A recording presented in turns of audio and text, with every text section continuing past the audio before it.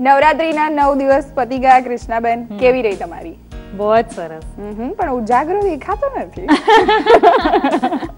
ટેવ છે. ઘણા વર્ષોથી ટેવ છે કે નવરાત્રી એન્જોય કરવાની. ઓકે પણ ઉજાગરાનો થાક ના લાગે. એની ટીપ શું છે? રાત્રે ભલે જાગ્યા હોય પણ દિવસે થોડો આરામ કરી લેવાનો અને હેલ્ધી હેલ્ધી કંઈક ખાવાનું. હમ એ તો તમારું આમ કહેવાય ને ડેલી રૂટીન છે. ઓકે. આજે દશેરા છે. ફાફડા જલેબી તો આઈ એમ શ્યોર કે તમે અને વ્યુઅર્સ બધાએ મજા માણી જ માણી લીધી હશે. તો આજે વ્યુઅર્સ માટે દશેરા સ્પેશિયલ શું છે?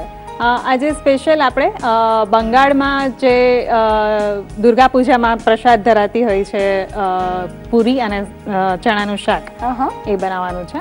ઓકે. હા, અને- દુર્ગા પૂજાનું પણ એક બહુ જ મોટું મહત્વ હોય છે. બિગ ફેસ્ટિવલ બિગ ફેસ્ટિવલ બંગાળનો બિગ ફેસ્ટિવલ બિગેસ્ટ અને ખરેખર એક વખત માણવા જેવો ફેસ્ટિવલ છે. ત્યાં જવું જોઈએ એક વખત ઓફકોર્સ ઓફકોર્સ એ માહોલ એકદમ જુદો હોય છે. અને બધા એક જ સરખા કપડાં પહેર્યા હોય છે. That is so fascinating yes okay આજે આપણે એ જ વાનગીઓ લઈ રહ્યા છીએ. હા.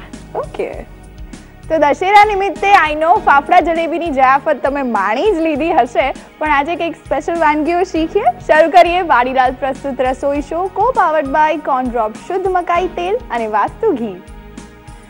તો દશેરા નિમિત્તે વિજય મુહૂર્ત જેમ આપણે સાચવતા હોઈએ છીએ કે આપણું કોઈ કામ પાછળ ના પડે. એના માટે સ્પેશિયલી આજના દિવસે શુભ કંઈક ને કંઈક આપણે ખરીદી કરતા પણ હોઈએ છીએ. તો એ બી તમે એ એ ટ્રેન્ડ ફોલો કરો છો. હા ચોક્કસથી. દશેરાના દિવસે કંઈક પણ વસ્તુ તમે લો ગોલ્ડ લો કે સિલ્વર લો કે કંઈ પણ કંઈ વાસણ પણ લઈ શકો તમે રસોડામાં કંઈક નવી વસ્તુ વસાવી શકો. દશેરાના દિવસે જે લો એ તમારા માટે શુભ હોય છે. યસ ઓકે અને આજે એવી સરસ મજાની શુભકારી વાનગીઓ પણ શીખવાની છે. સૌથી પહેલા ચણાનું શાક લઈએ છીએ. બેઝિક બેઝિક એટલે એની શું ખાસિયત હોય છે? બંગાળમાં અષ્ટમીના દિવસે ખાસ કરીને નાની નાની બાળકીઓ હોય એ બધા ઘરે ઘરે જાય. અને એને જે ઘરે જાય ત્યાં એની પૂજા કરવામાં આવે. એના પગ ધોવામાં આવે. પછી એને એક હાથમાં દોરો પહેરાવવામાં આવે. ચાંદલોને કંકુ લગાવવામાં આવે.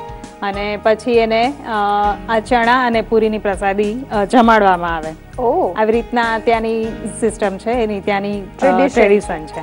ઓકે. એટલે અષ્ટમી અષ્ટમીથી ચાલુ થાય તો અષ્ટમી નોમ દસમી ત્રણ દિવસ સુધી આ ચાલતું હોય. જેવી રીતના તને ખબર હશે કે આપણે અહીંયા ગુજરાત